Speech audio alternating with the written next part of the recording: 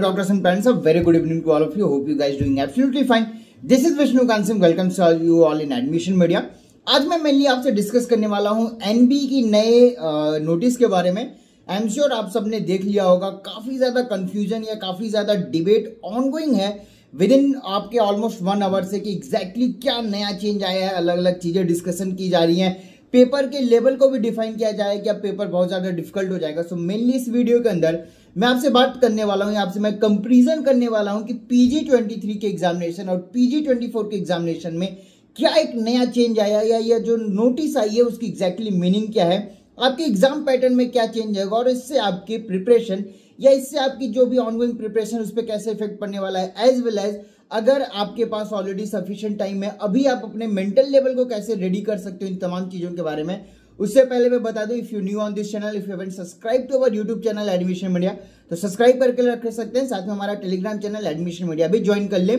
बात करूँ समय की तो ऑलरेडी आई मीन जो नोटिफिकेशन आई है, कुछ इंपॉर्टेंट चेंजेस किए गए हैं।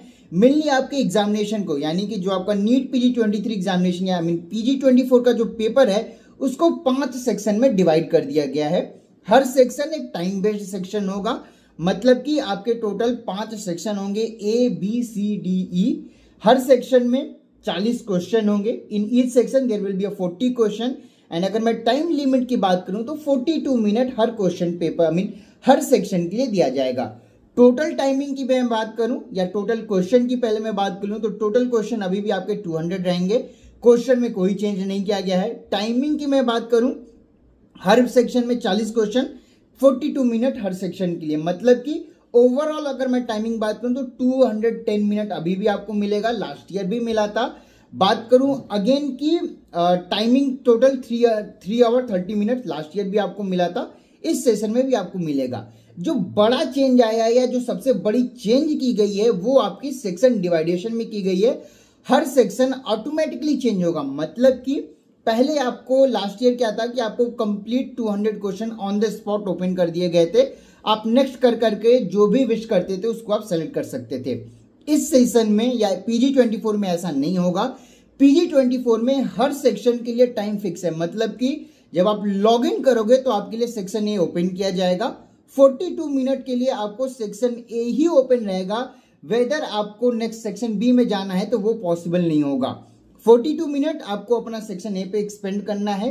जो भी 40 क्वेश्चंस रहेंगे, उनको आपको सेलेक्ट करना है, उनको आंसर करना है। एज वेल एज अगर आपको मॉडिफाई भी करना है तो इसके लिए भी आपको 42 मिनट के अंदर ही करना है। मतलब कि ऑलमोस्ट इसके लिए 38 मिनट। अगर मैं टिप्स की बात करूँ तो 35 टू 38 मिनट में अपना सेक्शन ए कंप्लीट कर लीजिए। चार से पाँच या छह मिनट प्रैक्टिस कीजिए। समय है, पाँच से छह मिनट अपने रिवीजन के लिए दीजिए।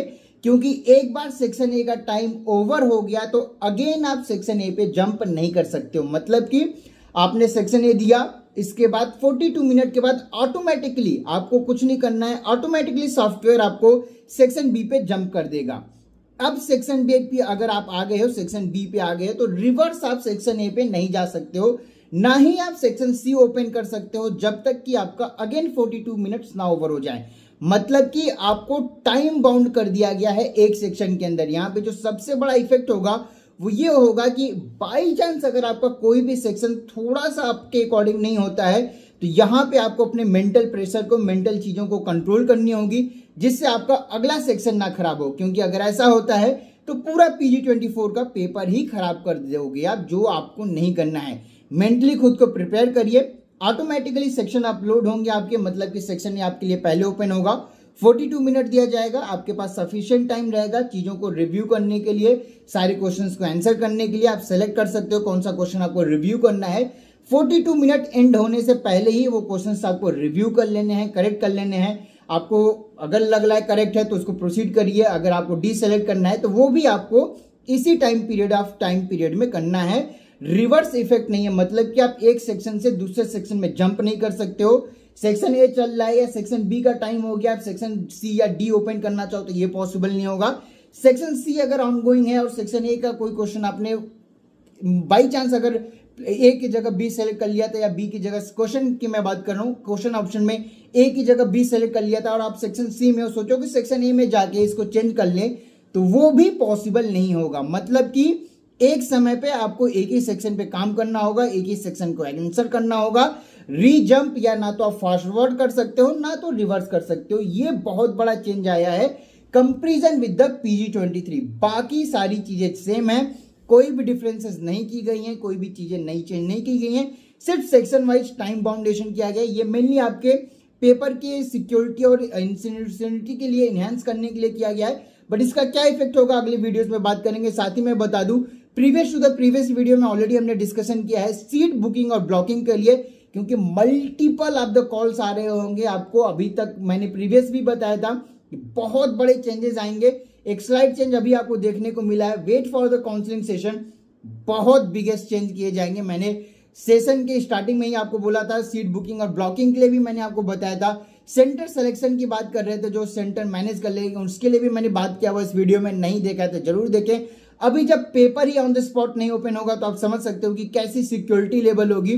कोई भी अगर आपको क्लेम कर रहा है कि पेपर मैनेज कर लेंगे बिलीव मी बिल्कुल भी नहीं पॉसिबल है। नए चेंजेस क्या है, वो मैंने ऑलरेडी क्लियर कर दिए। इसके अलावा भी अगर आपकी कोई क्वेश्चन है या कोई भी क्वेरी है तो आप नीचे दिए व्हाट्सएप नंबर पर मुझे कनेक्ट कर सकते हो। आप मुझे व्हाट्सएप पे मैसेज करिए रिप्लाई ज़रूर मिलेगा। हो सकता है कॉल्स अभी ना लगे, क्योंकि अभी हम करेंटली एक्टिव नहीं है अपने प्लेसेस पे। But by the fifteenth of May हम अपने ऑफ़िस पे अवेलेबल हो जाएँगे।